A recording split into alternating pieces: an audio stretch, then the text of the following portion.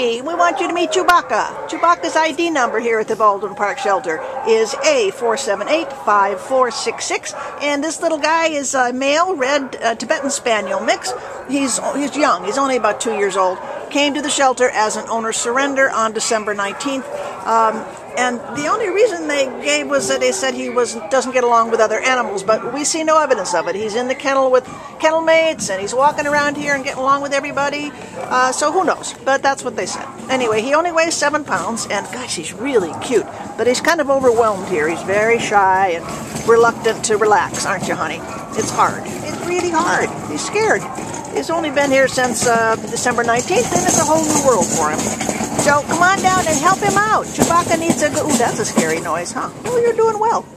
Chewbacca needs a new pack. He needs a new home. Come on down and meet him, because he's cute. Bye, sweetie.